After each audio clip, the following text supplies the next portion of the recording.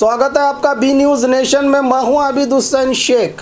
Covid 19 media health bulletin में आज राज्य में 5,815 कोरोना पॉजिटिव के नए मामले। अब कुल राज्य में कोरोना पीड़ितों की तादाद पहुँची है अट्ठाईस लाख उन्नीस हज़ार छत्तीस को। ग्यारह हज़ार आठ सौ बत्तीस लोगों को किया गया है। आज एक ही दिन में डिस्चार्ज जिससे छब्बीस लाख सैंतीस हज़ार दो सौ उन्नासी को पहुँची है। अब राज्य में कोरोना से सेहतियाब होने वालों की तादाद, एक लाख तीस हज़ार आठ सौ बहत्तर लोगों का इलाज चल रहा है। आज एक ही दिन में एक सौ इकसठ लोगों के मरने से तैंतीस हज़ार सात सौ तिरसठ को पहुँची अब राज्य में कोरोना से मरने वालों की तादाद आइए देखते हैं जिलों में क्या है। कोविड 19 आज के मामले, बागलकोट में 11 बल्लारी में 128 बेलगाम में 222 बेंगलुरु ग्रामीण में 161 बेंगलुरु सिटी में एक बीदर में तीन, चामराजनगर में 113 चिकबल्लापुर में 105 चिकमंगलुरु में 177 चित्रदुर्ग में 113 दक्षिण कन्नड़ में 832 दावनगेरे में एक सौ चौरानवे,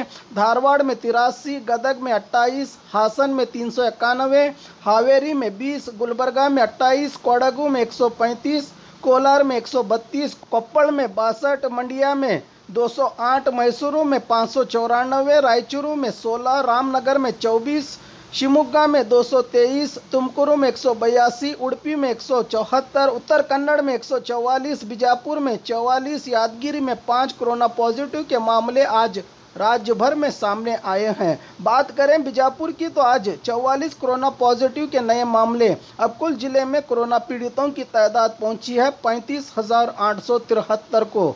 एक लोगों को किया गया है आज एक ही दिन में डिस्चार्ज, जिससे चौंतीस हज़ार सात सौ सोलह को पहुँची है। अब ज़िले में कोरोना से सेहतियाब होने वालों की तादाद छः सौ छियानवे लोगों का इलाज चल रहा है। आज दो के मरने से चार सौ इकसठ को पहुँची अब ज़िले में कोरोना से मरने वालों की तादाद। बाघ मारे हॉस्पिटल में दांतों की बीमारी से जुड़े हर तरह का किया जाता है इलाज, जिसके माहिर oral and maxillofacial surgeon doctor Shan Karimi करेंगे आपका उम्मीद से भरपूर इलाज।